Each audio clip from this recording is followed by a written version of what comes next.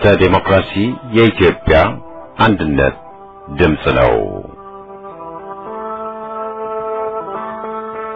ፍኖተ ዴሞክራሲ የኢትዮጵያ አንድነት ድምፅ በኢትዮጵያና በተጎራባች ሀገሮች ለሚኖሩ ኢትዮጵያውያን ዘወትር ረቡዕ ከምሽቱ ሁለት ሰዓት እስከ ሦስት ሰዓት በ11830 ኪሎ ሄርዝ በ25 ሜትር ባንድ የሚያስተላልፈውን ፕሮግራም አሁን ይጀምራል።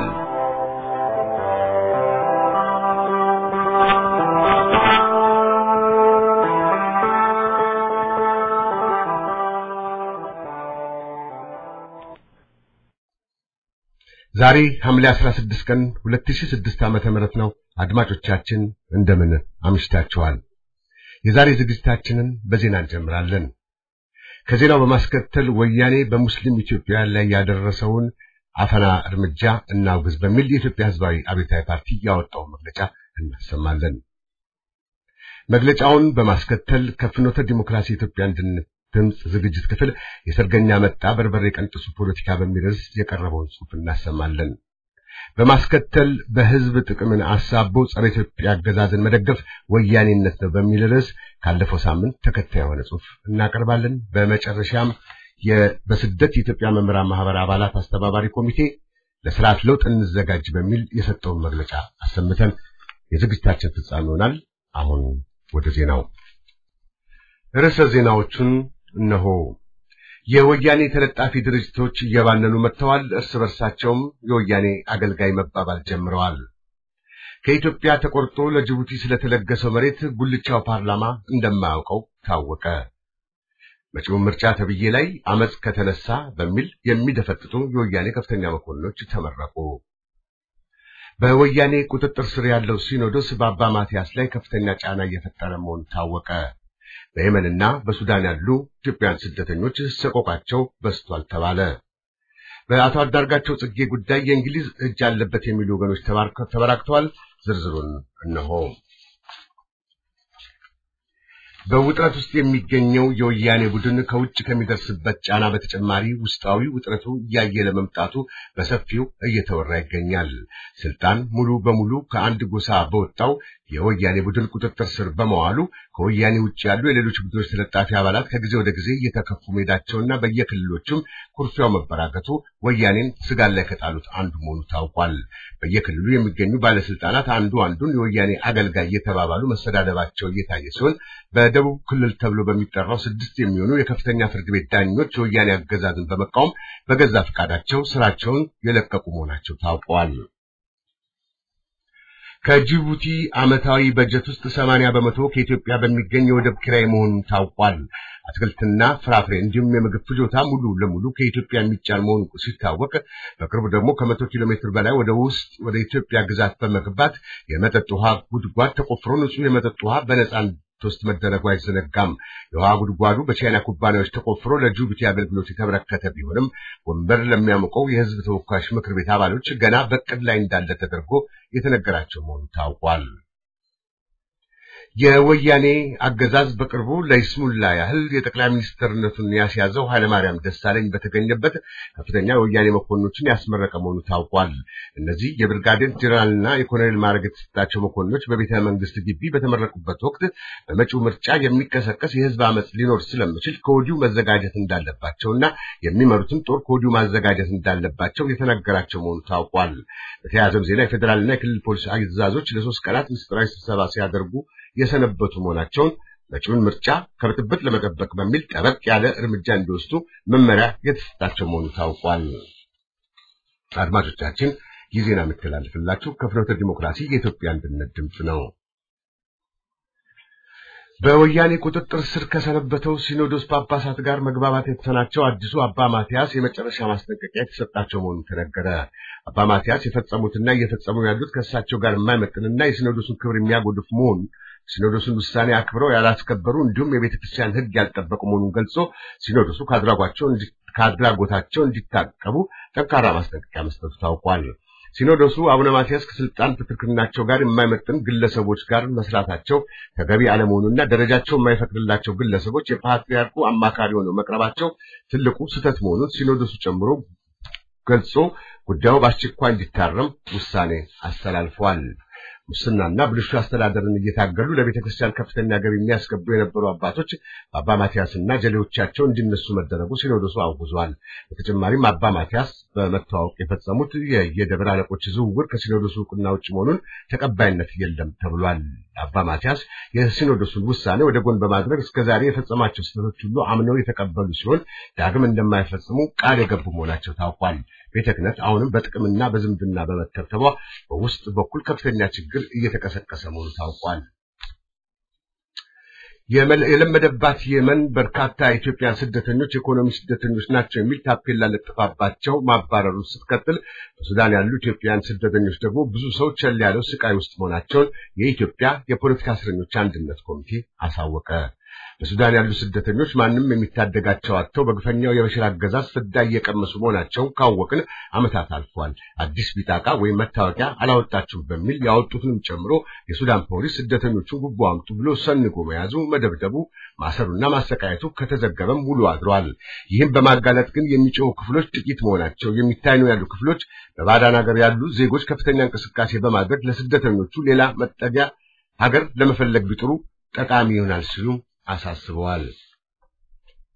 በተያያዘ ዜና የኢትዮጵያ ፖለቲካ እስረኞች አንድነት ኮሚቴ በሰጠው ሌላ መግለጫ በአዲስ አበባ ላለው የአሜሪካ ኤምባሲ በጻፈው ግልጽ ደብዳቤ ኤምባሲው ቪዛ በላጊዎችን የሚመድልና አድሎ ያለበት ውሳኔ ሲሰጥ የቆየ መሆኑን ጠቅሶ ይኸው ኤምባሲ ግን ለነፍሰ ገዳዮችና ቀይ ወንጀለኞች ወደ አሜሪካ ቪዛ አጉዟል መስጠቱን በቅርቡ የደርጉ አባል ውሸት ደሴ ቪዛ ተሰጥቶት አሜሪካ የገባውን የጠቀሰው የእስረኞች አንድነት ኮሚቴ ነፍሰ ገዳዩን ፍቅረ ስላሴ አሜሪካ ሊመጣ ቪዛ ጠይቆ መከልከሉ ደግ ቢሆንም የብቸናውን ሰው በላና ጨፍጫፊ እንዳለ ተሰማን ግን ላቀረበው ቪዛ ስጡኝ ጥያቄ የእንቢታ መልስ እስካሁን አለመስጠቱን አሳሳቢ ነው ብሏል።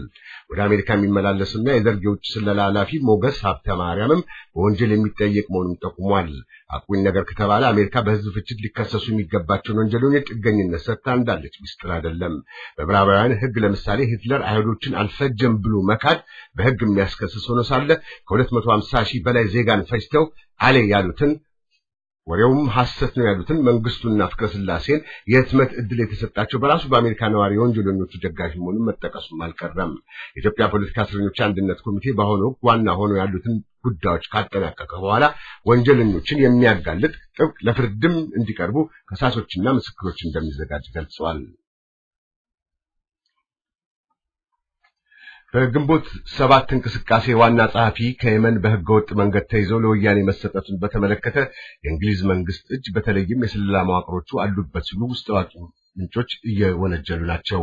የእንግሊዝ የስለላ መዋቅር ወያኔ ስልጣን ከያዘ ጀምሮ ሙሉ ትብብሩን ለነመለስ ዜናዊ የሰጠ መሆኑን ይታወቃል። በምስራቅ አፍሪካ በተለይ በኬንያ፣ በኡጋንዳ እንዲሁም በደቡብ አማጽያን ዘንድ ተቃዋሚ ኃይሎች ቦታና ድምፅ እንዳይኖራቸው ለማድረግ በእንግሊዝ ኤምባሲ የነበሩ ሰላዮች በሙሉ ኃይላቸውን ታግለዋል። የወያኔ ስለላ መዋቅር ኃላፊው የነበረው ሟቹ ክንፈን ያሰለጠነው እንግሊዝ ሲሆን የወያኔንም ፖሊስና ጸጥታ ረድቶ ለአሰፋ ማሩ ግድያ የበኩሉን አስተዋጽኦ አድርጓል። የአቶ አንዳርጋቸው ጽጌን ስልክ ጠልፎ ነበር የሚባልለት የእንግሊዝ የስለላ መዋቅር ጠለፋው ቀደም ብሎ ከወያኔና ከየመን በፊት ባያቅም በሰነድ ሲያዝ ወዲያውኑ መስማቱ የማይቀር ነው ሲሉ ታዛቢዎች ተቻሉ። በተለይም ከቅርብ ጊዜ ወዲህ ኢሳያስ ላይ በጋራ እያሰሩ ያሉት ወያኔ፣ እንግሊዝና አሜሪካ የስለላ መዋቅሮች በተከታታይ ወራት እዛው አካባቢ አልፈዋል ተብሏል። እንግሊዝ በጠለፋው ተባብራ ተባባር ተባበረች ለሚለው ጥርጣሬ ሌላው መረጃ እንግሊዝ ለምን አንዳርጋቸው ተያዘ በአስቸኳይ ይለቀቅ ሲል አለመሰማቱና ሞት ፍርድ አይፈጸምበት ማለት ብቻ መወሰኑም ተብሏል። አሜሪካና እንግሊዝ አምርረው ለየመንና ለወያኔም ቀጭን ትዕዛዝ ሊሰጡ የሚችሉ መሆናቸው የሚታወቅ ሲሆን እንየው ብለን ወያኔን ጠይቀን እምቢ ያሉን የሚሉት ቧልት ነው ሲሉ ውስጥ አዋቂዎች ይጠቅሳሉ። አድማጮቻችን ለዛሬ ያለን ዜና በዚሁ ተጠናቀቀ።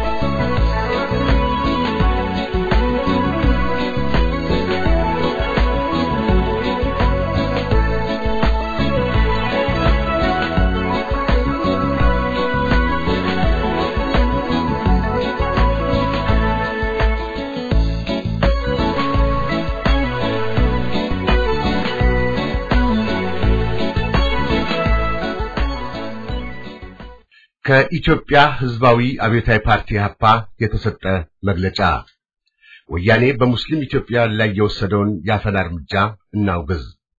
ሐምሌ 11 ቀን 2006 ዓመተ ምህረት ወያኔ በአንዋር መስጊድ ምዕመናን ላይ የወሰደው ዘግናኝ የአፈና እርምጃ የዚህን አገዛዝ ጸረ ኢትዮጵያዊነት፣ ጸረ ሕዝብነትና ስነ ምግባር አልባ ባለጌ መሆኑን ከመቼውም ጊዜ ባልተናነሰ አጋልጦታል። ወያኔ ሙስሊም ኢትዮጵያውያን ለመብታቸው ያደረጉትና እያደረጉ ያሉት ሰላማዊና ፍትሃዊ ትግል ላለፉት ሁለት ዓመታት ማፈን ስላቃተው በቀቢጸ ተስፋ የሕዝብን ተቃውሞ በአረመናዊ አፈና ለማፈን ሲፍጨረጨር በተደጋጋሚ ታይቷል። ወያኔ የራሱን ቅጥረኛ ተንኳሾች ወደ መስጊዱ ቅጽር ግቢ አስገብቶ ፖሊሶች ላይ ድንጋይ ተወረወረባቸው በሚል ሽፋን ባዘጋጀው ኃይል አማካይነት በሙስሊሙ ዜጋ ላይ ወረራ አካሄዶ የፈጸመው ኢሰብአዊ ድብደባ ይህ ነው የማይባል ለመሆኑ ብዙዎቹ መስክረዋል። ታላቁ አንዋር መስጊድንም በወታደር ከቦ በበርካታ የጭነት መኪና የተደበደቡና የተንገላቱ በጾም ላይ የነበሩ ዜጎችን አፍሶ ወስዷል። ወደ ተለያዩ ማጎሪያዎች ወስዶ የማፍጠርንም ወይም ጾም የመፍታትንም እድል ከልክሎ ከእኩለ ሌሊት በኋላ በከተማው ለጅብ ለቋቸዋል። አረመኔው ወያኔ አማኞችና የመስጊዱን ሃይማኖታዊ አልባሳቶች ቸውን ገፈውና ቀደው ሲጥሉ በተለይ በሙስሊሞቻችን ላይ ያሳዩት ብልግናና ያዘነቡት ስድብ ሰቅጣጭ ሆኖ ለብዙ ጊዜ የሚታወስ ነው። ወገኖችን ትግል የመብት ሳይሆን የሃይማኖት ልዩነት መሰረት ያደረገ ወይም የሃይማኖት ጠብ ነው ብሎ ለማሳመን ሲጥር የነበረው ወያኔ በመስጊዱ የነበሩትን ሙስሊሞች ይህ የክርስቲያን ሀገር ነው፣ ወደ ሳዑዲ አረቢያ ሂዱ ወዘተ እያለ የጥላቻ መርዝን ሲያሰራጭ ሞክሯል። ሀፍረት ለወያኔ ባዳ ነው። የሙስሊም ኢትዮጵያን ትግል በቀጣይነቱ መታየቱ ለመላ ኢትዮጵያ ሕዝብ አበረታች ነው፣ ለጽናት ምሳሌ ነው። ትንኩሳና ወያኔዊ ሴራን ለማክሸፍ ረገድ ምሳሌ ሊሆን የሚገባው ነው። በአንጻሩ ሌላው ዜጋ መፋዘዝ ብቻ ሳይሆን ለወያኔም ከፋፋይ ቅስቀሳ ጆሮ ሰጥቶ አልባልና የተሳሳተ ድምዳሜ ላይም እየደረሰ ነው። ይህ በአስቸኳይ መቆም ያለበት ነው። ዜጎች በሙላ ከሙስሊም ዜጎች ወገኖች ጋር መቆም፣ በጋራ መታከል አለባቸው። የታሰሩትና የተወገሩት ሙስሊሞች ሌሎች ከጎናቸው እየቆሙና እየታገሉ መሆናቸውን በገቢር ማወቅ ይገባቸዋል። በመሆኑም የጋራ ትግልና ትብብር እንዲኖር የኢህአፓ ጥሪውን ዳግም ያስተላልፋል። የሙስሊም ወገኖቻችን ትግል ይደግፋል ባለውም አቅም ከጎናቸው ይቆማል። ክርስቲያኖችና ዲሞክራቶች፣ ቀሳውስቶችና አባዎች ወዘተ የሙስሊም ወገኖቻችን ትግል የነሱም ነውና ድጋፋቸውን እንዲሰጡ ወደ ትግሉ መስክም ደፍረው እንዲገቡ ኢህአፓ ያሳስባል። ሐምሌ 15 2006 ዓመተ ምህረት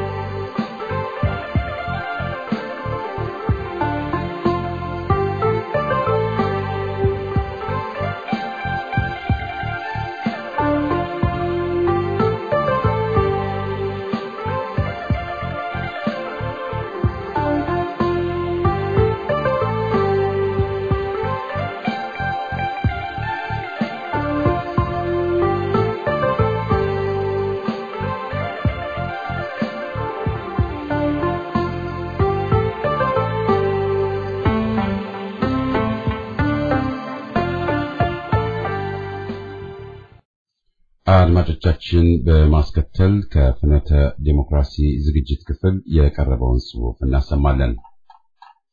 የሰርገኛ መጣ በርበሬ ቀንጥሱ ፖለቲካ ያለው ተጨባጭ ሁኔታ እየከፋ ሲመጣ ወይም ድንገተኛ ሁኔታ ተፈጥሮ ንዴትና ቁጭት ሲያይል ቀቢጸ ተስፋ የሚያመጣው ሰርገኛ መጣ በርበሬ ቀንጥሱ አይነት ሁኔታ አለ።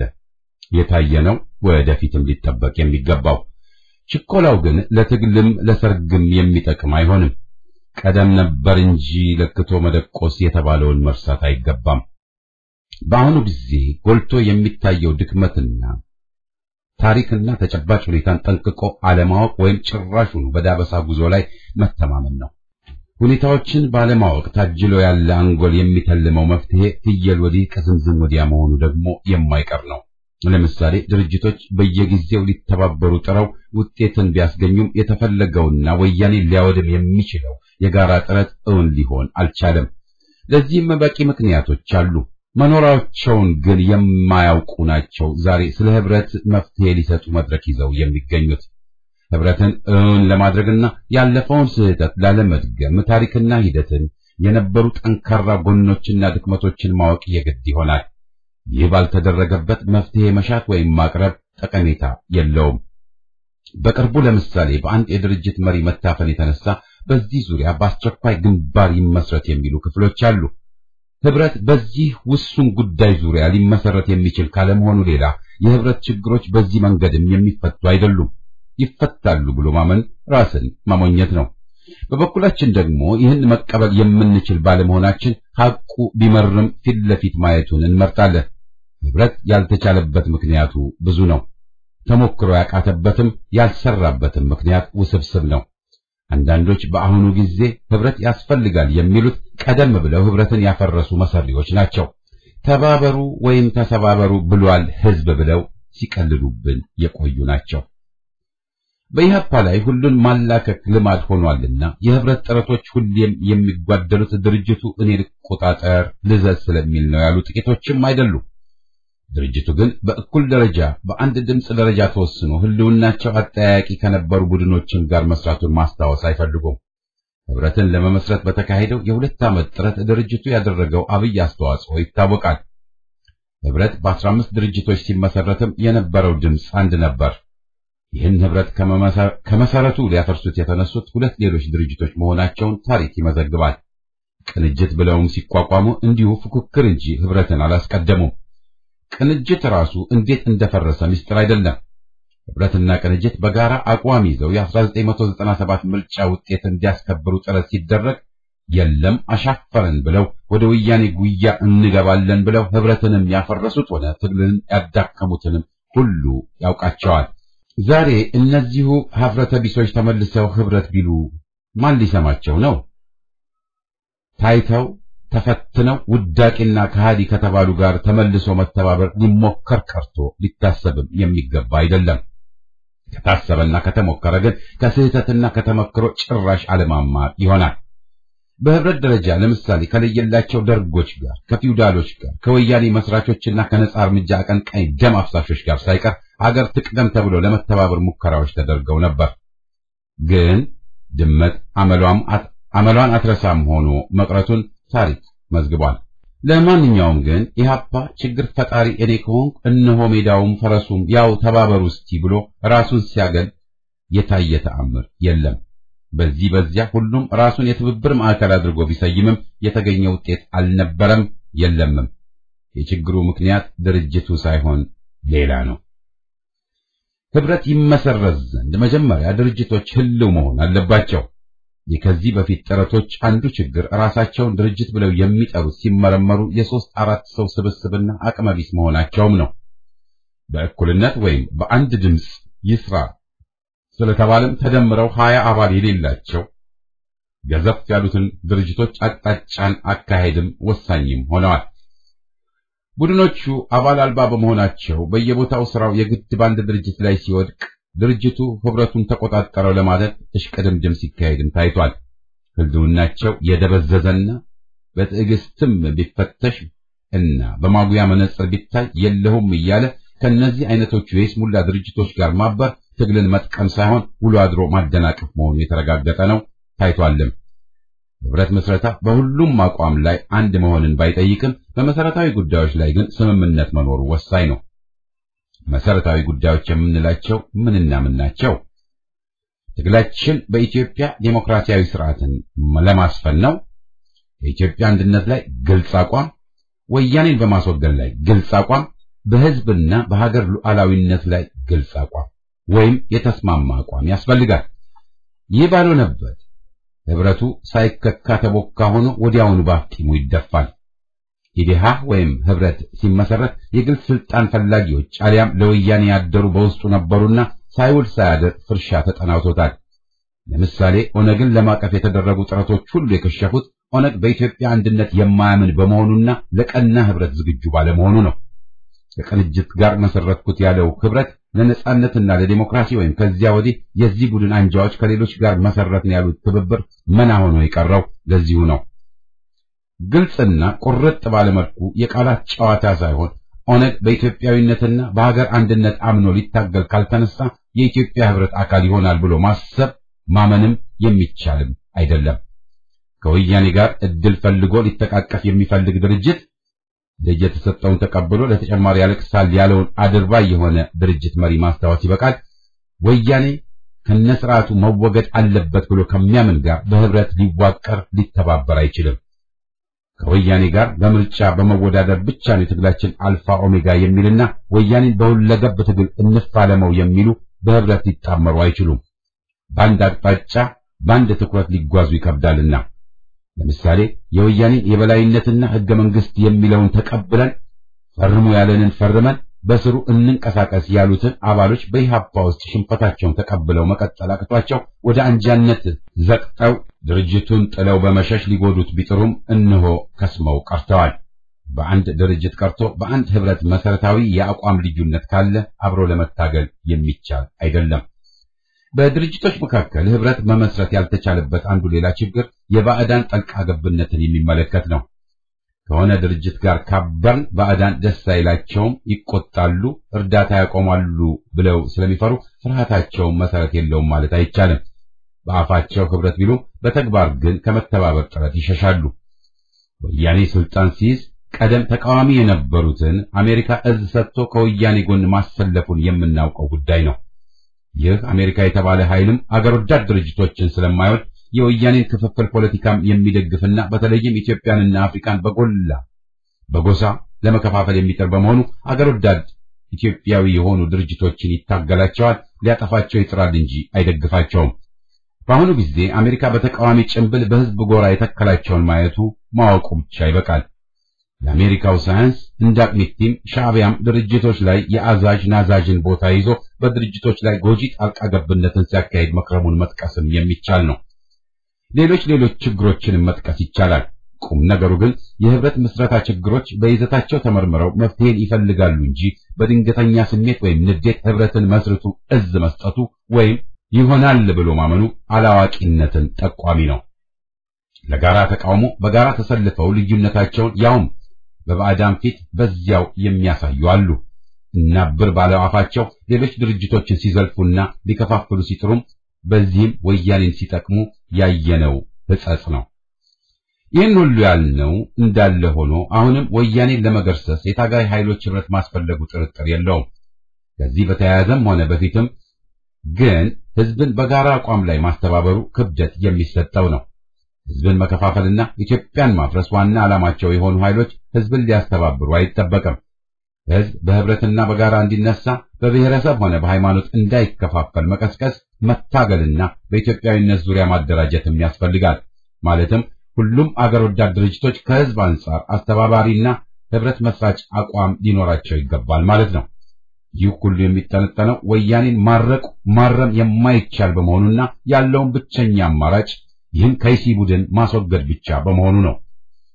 ከወያኔ ጋር ሰላምና እርቅ የሚሰብኩ ህዝብን የሚያደናግሩና ትግልንም የሚጎዱ ናቸው። የ23 ዓመት ተመክሮ ይህን ሀቅ ተቀበሉ ይለናል። ወያኔ ለተጨማሪ ዓመታት አገርን ሊያጠፋ እድል ልንሰጠውም አይገባም።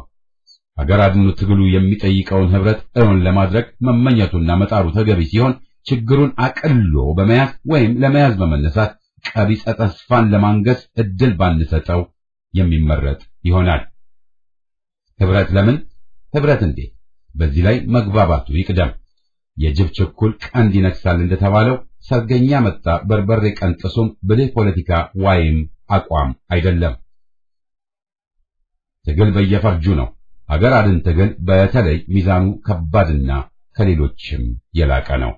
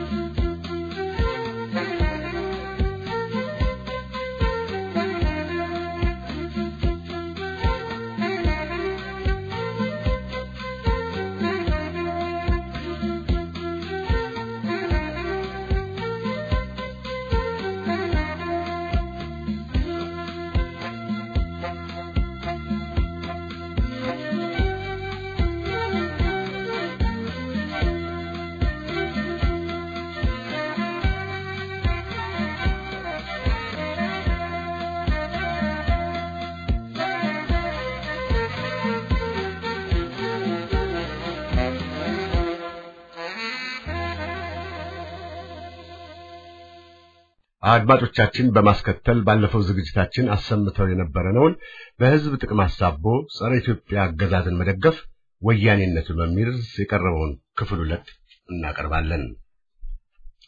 የሕዝብ ጥቅምና ፍላጎት ሁሌም የእሴቶች በተለይ የነጻነት፣ የፍትህ፣ የዲሞክራሲ፣ የእኩልነትና የመረዳዳት መሰረታዊ መርሆች ጥገኛ በመሆኑ ከርዕዮተ ዓለም ጋር በጥብቅ የተሳሰረና የተያያዘ ነው። የሕዝብ ጥቅምና ደህንነት የሚባለው ደግሞ የህብረተሰቡን አጠቃላይ ደህንነት የሚመለከት ነው ተብሎ ስለሚገለጽ ስለ ዓላማውም ሆነ ተግባራዊ ስለሚደረግበት ሁናቴና አስመልክቶ በህብረተሰቡ ብዙሃን አባላቱ መካከል በቅድሚያ እኩልነትና መቻቻልን መሰረት ባደረገ ዲሞክራሲያዊ ውይይትና መግባባትን የሚጠይቅ ነው። አንድነትና ውህደት የሌለው ህብረተሰብ የብዙሃኑ ጥቅም የሚረጋገጥበት መድረክ ሊመሰረትና ሊገነባ ከቶም አይችልም። በተለይም በአሁኑ ባለንበት ዘመንና በርካታ የማህበረሰብ እድገቶች ተገኝተው በይበልጥ እንዲጎለብቱ ጥረት እየተደረገ ባለበት ሁናቴ ከዚህ ውጪ የህዝብ ጥቅም ሊታሰብ የሚችል አይደለም። የሰው ፍጡር የእድገት ታሪክም ይህ ጎዳና አዋጭ እየሆነ በመምጣት ላይ እንደሆነ የታዳጊ ሀገራት ጥረቶች የሚመሰክሩት ናቸው። ለዚህም ነው መድብላዊ ህብረተሰብ በሚገኝበትና ግልጽነት እንዲሰፍን በሚጠየቅበት ለስኬታማነቱም የተለያዩ እንቅስቃሴዎች በሚካሄዱባቸው እንደ ኢትዮጵያ በመሰሉ ሀገሮች ውስጥ አንድ ብቻ ያውም ከላይ ባውቃለሁ ባይነት የሚጫን ትእዛዝ ሳይሆን በእኩልነት ሊታዩ የሚገባቸውና በፖለቲካ ምህዳር ውስጥ በህዝቡ ተቀባይነትና በህዝባዊ አስተያየት ላይ የበላይነትን ለማግኘት እርስ በርሳቸው የሚፎካከሩ የተለያዩ ጥቅሞች፣ ፍላጎቶች፣ ዓላማዎች፣ ራዕዮችና አስተሳሰቦች መሆናቸው ከግልጽም ግልጽ ነውና ልዩ ሙግትን የሚሻ አይደለም። ድርጅቶች መብዛታቸው፣ የተለያዩ አስተሳሰቦች መኖራቸው የህብረተሰቡ ተጨባጭ ሁኔታን የሚያንጸባርቁ በመሆናቸው ህጋዊነት ሊያገኙ የሚገባቸው እንጂ በተወሰነ የታሪክ ወቅት ከስልጣን የተቆናጠቀ ቡድን እንዳሻውና ሲቻለው በሙሉ ካልተቻለው አብዛኛውን የጥቅም ፍላጎቶችን ፍላጎቶችን ህገ ወጥ አድርጎ የፖለቲካ ምህዳሩን በመዳፉ በማስገባት የሚያደርጋቸው ማናቸውንም እንቅስቃሴዎች አጥብቆ መቃወም አስፈላጊም ህጋዊም የሚሆነው በዚህ ምክንያት ነው።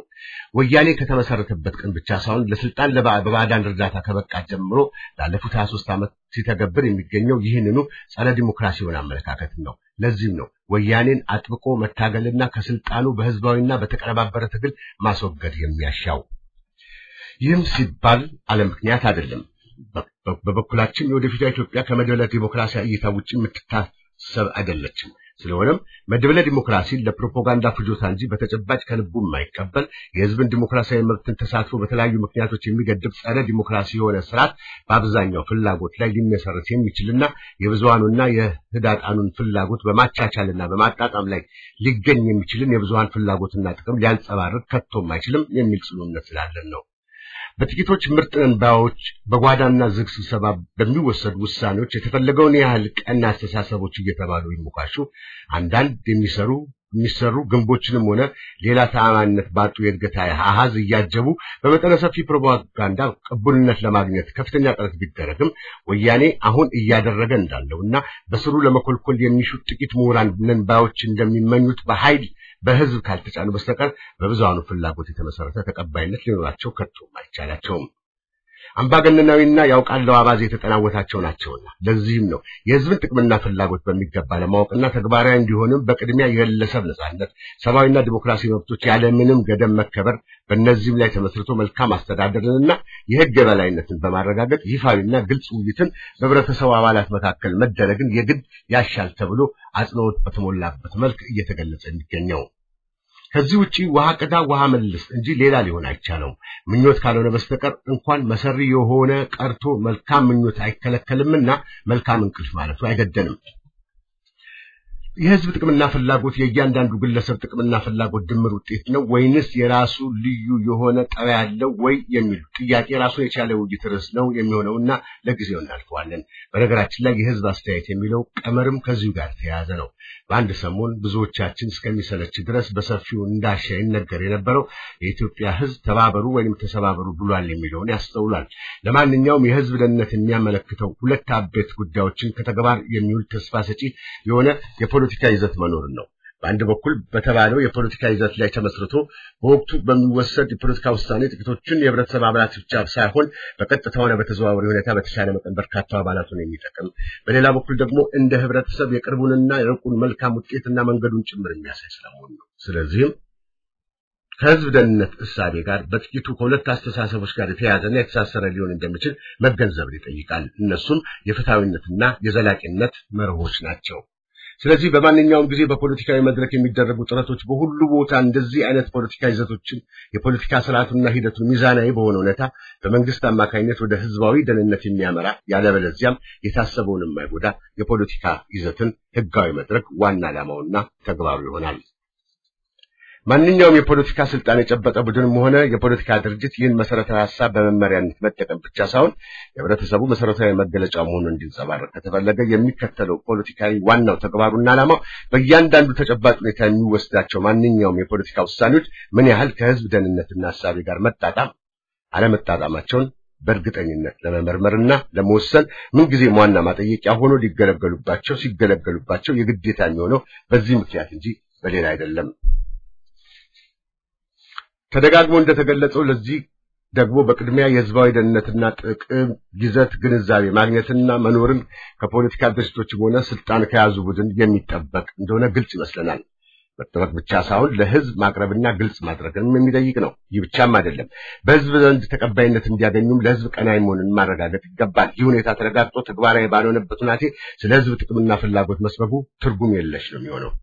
የሀገራችን ተጨባጭ ሁኔታ የሚያመላክተው ይህንን እንደሆነ በተለያዩ አካባቢዎች በወያኔ ላይ እየተደረጉና አሁንም ድረስ እየተደረጉ ያሉ የተቃውሞና እምቢኝ ባይነት እንቅስቃሴዎች የሚያረጋግጡት ይህንን ነው። ታዲያ ወያኔ ከዚህ አንጻር የኢትዮጵያን ህዝብ በተለይ ደግሞ አማራና በኢትዮጵያነት ምንጊዜም ጥርጣሬ የሌለውን የአማራ ብሔረሰብ አባላትን በጅምላ በጠላትነት የፈረጀ ይህንን ደግሞ ይሁነኝ በማለት የሚከውነው በመሆኑ ከመጀመሪያውኑ ፈተናውን የወደቀ ከይሲ ቡድን ነው።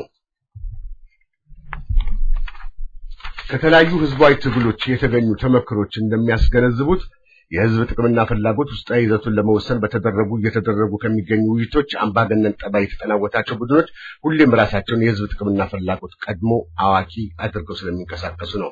በዚህም እይታቸው፣ ድርጊታቸው እናስተዳድረዋለን ከሚሉት ብዙሃን ህዝብ ጋር የሚጋጩበት መንስኤው ይኸው ያውቅልሃለሁ ባይነት በመሆኑ ስልጣን ለመያዝ ሲበቁ የመጀመሪያ እርምጃቸው የህዝብን ሰብአዊና ዲሞክራሲ መብቶች ማፈንና ለዚህም የሚረዳቸው የተለያዩ አፋኝ ህጎችን ከማውጣት ጀምሮ ይህንኑ ህጋቸውን ተግባራዊ የሚያደርግ አፋኝ ቡድን ማቋቋም ማሰማራት እንደሆነ ከወያኔና ከደርግ አገዛጆች ከበቂም በቂ የሆነውና የታዘብነው ነው።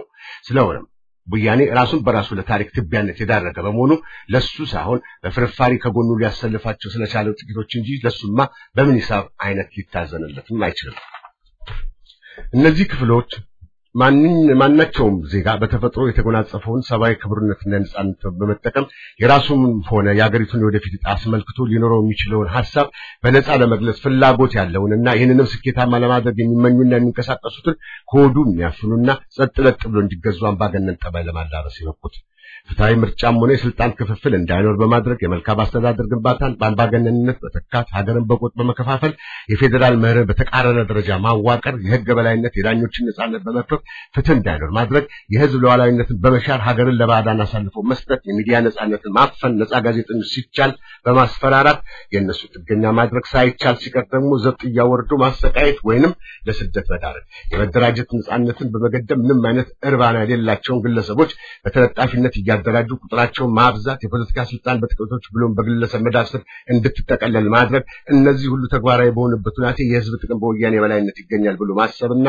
መንቀሳቀስ ጅልነት ካልሆነ የወያኔ ተለጣፊ ከመሆን የሚያመልጥ አይደለም። ለዚህም ነው እነዚህን የመሰሉ አስተያየቶች ከየትኛውም አቅጣጫ ይቅረቡ እንዳመጣጣቸው መቃወም ምግድ የሚሆነው። ስለሆነም የህዝብ ጥቅም ይዘቱና ምንነቱን አስመልክቶ በተወሰነ የታሪክ አጋጣሚ ያገዛዝ ስልጣን ለመያዝ የበቁ ክፍሎች እንዲተምኑ መድረኩን ለነሱ መተው ከኃጢአትም በላይ ኃጢአት ነው።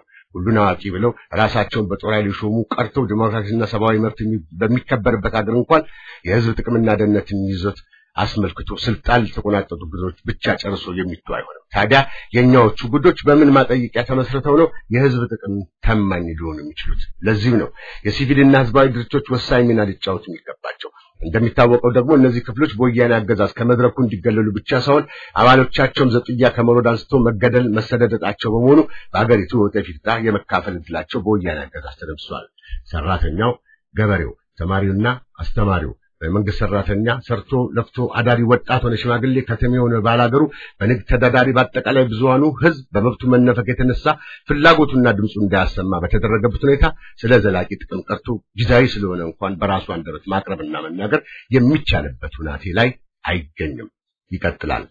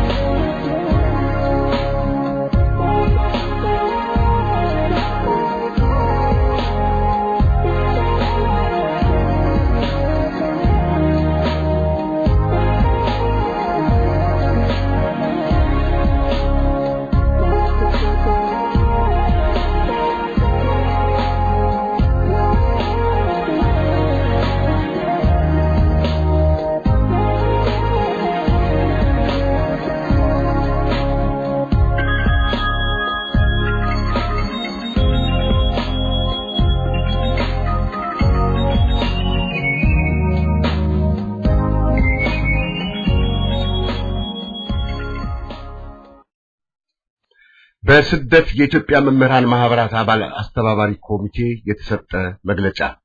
ለስርዓት ለውጥ እንዘጋጅ ሐምሌ 5 2006 ዓ.ም የኢትዮጵያ መምህራን ማህበር ኢመማ ከ1941 ዓመተ ምህረት ጀምሮ ብዙ ውጣ ውረዶችን አሳልፏል።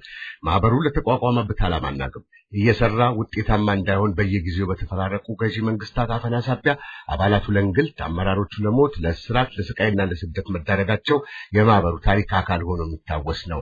በተለይ በወያኔ ኢህአዴግ በተፈጸመበት መቃ ማህበሩ ከመቼውም ጊዜ ይበልጥ ህልውናውን አጥቶ እንዲፈርስ መደረጉና በአምባገነኑ ስርዓት አምሳያ ተጠፍጥፎ የተሰራ ተለጣፊ ማህበር ተፈጥሮ ማየቱ አሳዛኝ ክስተት ሆኗል። ምንም እንኳን ወያኔ እውነተኛውን ማህበር አፍርሶ በራሱ አምሳያ የተፈጠረውን ማህበር ተብዬ ቢያጠናክርም በማስተማር ሙያ የተሰማሩ አብዛኛው መምህራን ማህበራቸው ካገዛዙ መዳፍ ፈልቅቆ ለማውጣት ባገኙት አጋጣሚ ሁሉ ተቋማቸውን ማሰማታቸውና ጥያቄያቸውን ማንሳታቸው አልቀረም። በቅርቡ የትምህርት ሚኒስቴር ከብሪቲሽ ካውንስል ጋር በመተባበር በአዳማ ወይ ናዝሬት ከተማ በአዳማ ራስ ሆቴል ለእንግሊዝኛ ቋንቋ መምህራን ለአስር ቀናት የሚቆይ ስልጠና በሰጠበት ወቅት ከአበል ክፍያ ጋር በተያያዘ በተፈጠረ አለመግባባት የስልጠናው ሂደት ሳይጀምር የተጠናቀቀ ለማለት በሚያስችል መልኩ በንትርክና በጭቅጭቅ አልፏል።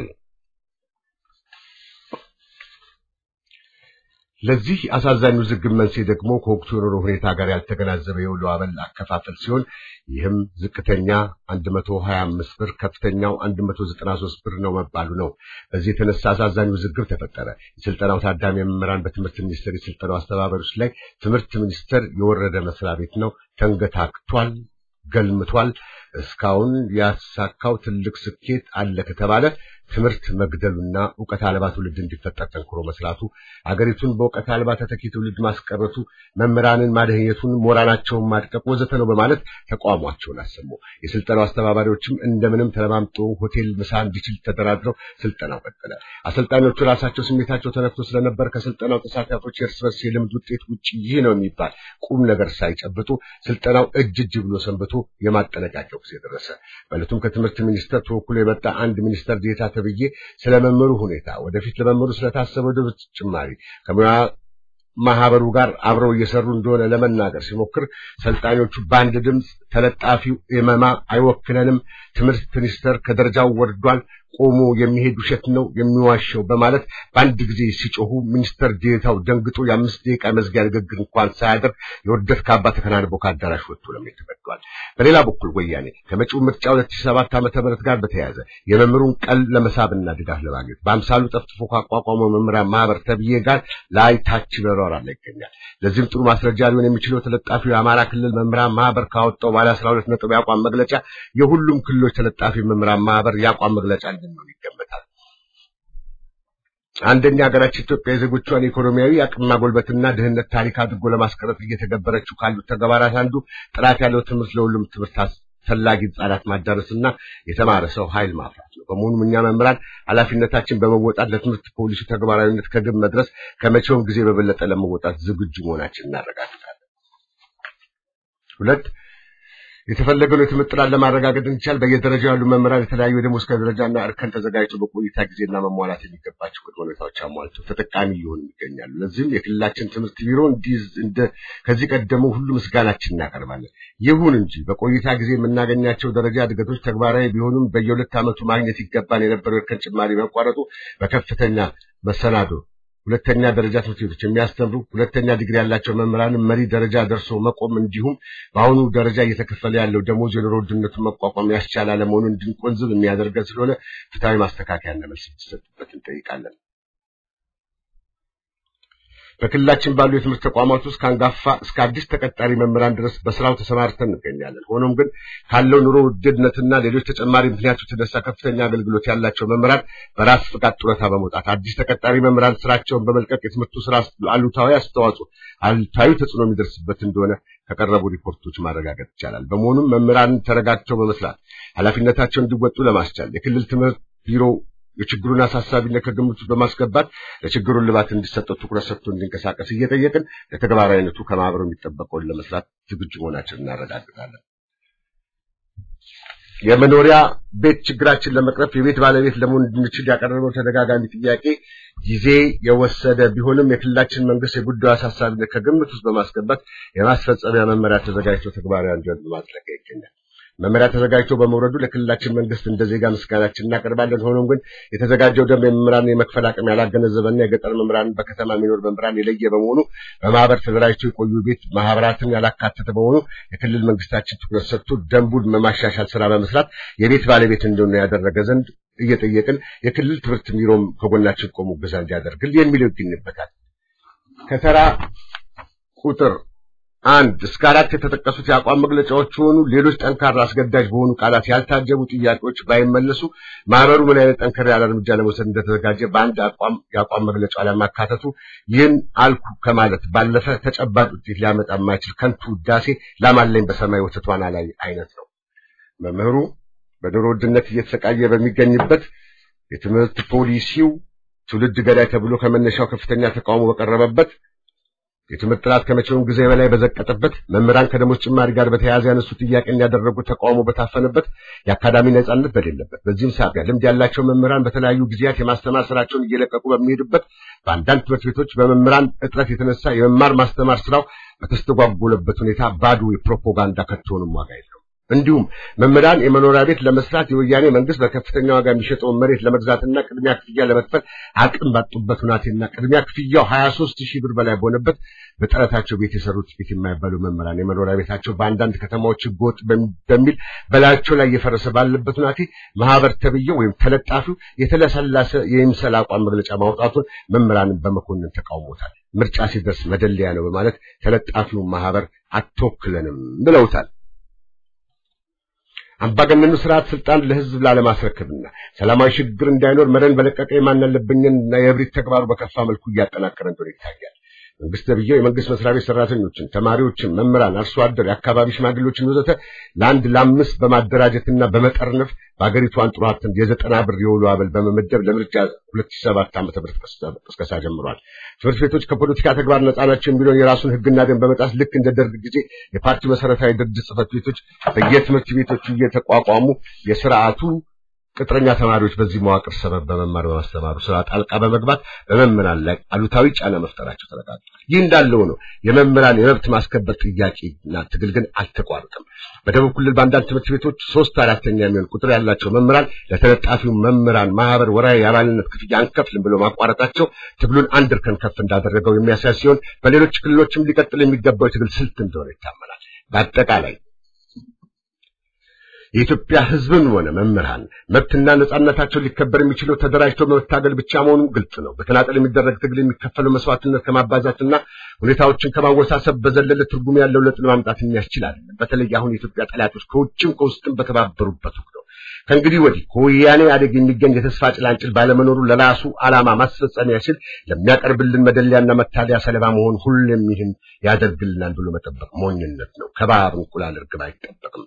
ወያኔ የኢትዮጵያ ሕዝብ ጠላት መሆኑ ያለ ጥርጥር ማወቅ ይኖርብናል። ያ ባይሆን ኖሮ የጠየቅነውን የምርጥ ጥያቄዎቻችን በመለሰ ነበር። ወያኔ ቃሉን የማያከብር የሀገር አደራን የበላ ሰብአዊና ዲሞክራሲ መብቶች ረግጦ የመማርና ማስተማር ነጻነት ገፎ የመምህሩን ክብር አዋርዶ የወዳቸው ያደሩትን በጥቅማ ጥቅም ደልሎና አቅፎ ደግፎ በእሳት ረመጥ ላይ የቆመ አምባገነን ስርዓት ነው። ስርዓቱ የቆመለት የእሳት ረመጥ እየሆነ እያደር ውስጥ ውስጡን እንደ ቋያ እየነደደ ራሱንም የሚያነድበት ጊዜ ሩቅ አይደለም። ትውልድን አደንቁሮና እውቀት አልባ አድርጎ በታሪክም በትውልድም ይቅር የማይባል ወንጀል እየፈጸመ በሚገኝ ስርዓት ላይ ሁሉም ሊነሳ ይገባል። ወያኔ ኢህአዴግን በቃ ማለት የጊዜው ጥሪ ነው። ለለውጥ ካልተዘጋጀንና የየበኩላችን አስተዋጽኦ በማድረግ በቁርጠኝነት ካልተነሳን አደጋው ከዚህም የከፋ ይሆናል። እኛ መምህራን ከአዲስ አበባ ማስተር ፕላን ጋር በተያዘው ለጠፋ ሕይወት ለወደመው ንብረት የወያኔ አገዛዝ ተጠያቂ ስለሆነ ለተጎዱ ወገኖቻችን ካሳ እንዲከፍል ለሚነሱ ህዝባዊ ጥያቄዎች ተገቢ ምላሽ እንዲሰጥ እየጠየቅን እንዲሁም ጋዜጠኞችን፣ የፖለቲካና የሃይማኖት መሪዎችን በአጠቃላይ የኢትዮጵያን የህዝቦች እስር ቤት አድርጎ የሚገኘው የወያኔ ማፊያ ቡድን ከሰሞኑ ከየመን መንግስት ጋር በመሆን የግንቦት ሰባት ዋና ጸሐፊ የሆኑትን አቶ አንዳርጋቸው ጽጌን ከየመን መንግስት በኢትዮጵያ የውስጥ ጉዳይ ጣልቃ ገብቶ የዓለም አቀፍ ሕግን በመተላለፍ ለወያኔ አሳልፎ መስጠቱን በሀገሩ በሚገኙ ኢትዮጵያ ላይ የሚደርሰውን በደል በጥብቅ እናውቀዋለን። ድርጊቱን እናውግዛለን። ወያኔ ዓለም አቀፍ ድንጋጌዎችን እየጣሰና ሰብአዊ መብቶችን እየደፈጠጠ በስልጣን ላይ ተፈናጦ መኖር ስለማይገባው ኢትዮጵያውያን በሀገር ውስጥም በውጭም ድርጊቱን በመቃወም ማውገዝ ለዓለም ህብረተሰብ ማጋለጥ ይጠበቅባቸዋል። የትውልዱ ዕጣ ፈንታ ተስፋ ሰጪ ሊሆን የሚችለው አምባገነኑ ስርዓት ተወግዶ ለሁሉም የምትሆን ዲሞክራሲያዊ ስርዓት የሰፈነባት የዜጎች ነጻነት፣ ሰብአዊ መብት፣ የህግ በላይነት የሚከበርባት ሀገር መገንባት ሲቻል ነው። በመሆኑም ከቀደሙት የትግል ታሪክ ትምህርት ወስደን የለውጥ ሐዋርያ በመሆን ሀገራችንን ከወያኔ መንጋጋ ለማላቀቅ በሚደረገው ህዝባዊ እንቅስቃሴ ዝግጁ ሆነን ሀገራዊና ህዝባዊ ግዴታችንን እንድንወጣና ለስርዓት ለውጥ እንድንዘጋጅ በስደት የኢትዮጵያ መምህራን ማህበር አባላት አስተባባሪ ኮሚቴ ለመምህራን፣ ለተማሪዎች፣ ለሰራተኞች፣ ለገበሬዎች፣ ለወጣቶች፣ ለሴቶች በአጠቃላይ ለሁሉም ኢትዮጵያዊ ጥሪውን ያቀርባል። የመምህራን መብት በትግላችን ይከበራል። ለስርዓት ለውጥ ቆርጠን እንነሳ። ድል ለኢትዮጵያ